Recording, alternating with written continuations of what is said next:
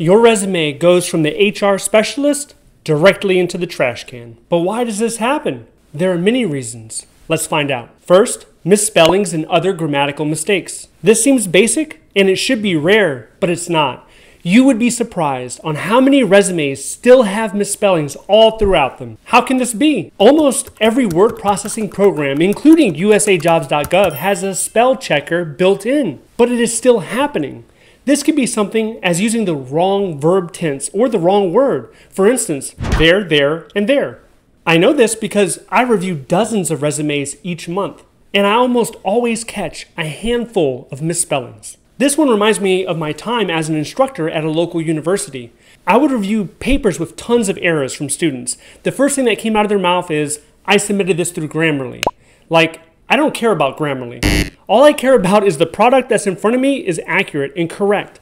And that's what they would say. They would use that as a form of defense, like, hey, don't blame me, blame Grammarly. I'm not blaming Grammarly. So double check your resume and make sure it doesn't fall into this category. Next is your resume is a long list of responsibilities. You would be amazed at how many resumes have this long bullet list. I was responsible for this, for that, for the other. Hey, everyone gets it.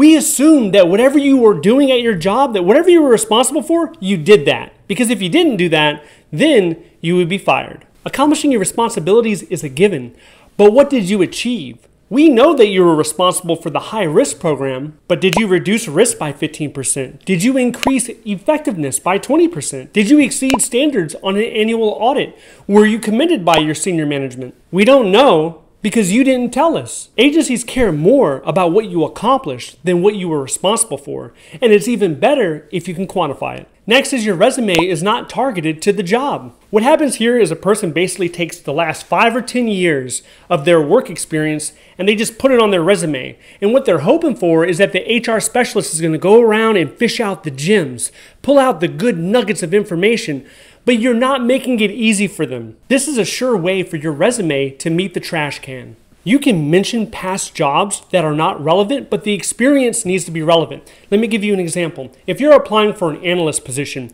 you can mention your Taco Bell experience. If at Taco Bell you analyze shift times or you analyze the stock that was coming in from the distributor, you can mention that. But do not mention the time you made over 100 tacos in one hour during the lunch rush because that's completely irrelevant to being an analyst. Now, qualifications will change from one job announcement to the next. So, if you want to create a strong base level resume, you need to go to the OPM Job Series Handbook and pull out a lot of those keywords and put them inside of your resume. And it will be giving you an idea on what to include from your past experience. The next thing that your resume is missing is key information. For government jobs, you are required to include key information on your resume, such as dates of employment, your supervisor's name, his phone number, the hours you worked at the job. If you're missing this key information, you could be disqualified. And if you're new to applying to government jobs, the best thing to use is the USA Jobs Resume Builder because on the builder, they're not going to let you miss key information. Also, if you forget to attach required documents, then that will result in you receiving an email letting you know that you were not considered because you did not have the required documents attached. Next is acronyms and confusing terminology. A lot of times the HR specialist reviewing your resume, they're not in your field. So if you're an engineer applying for an engineer job, the HR is not an engineer. They don't understand the background. So a lot of acronyms or jargon is really going to confuse a lot of people. This is especially also with the military. People coming out of the military and they expect everyone to know these military acronyms. Do not make that assumption. Most people have no idea. Consider this. Most best selling novels are written at a seventh grade level, and newspapers are written at a ninth grade level. You want HR to understand your resume, so you probably should have it written this way. In the same way the movie trailer gets you fired up and excited about watching the movie, your resume should have the federal agency excited to interview you for the job.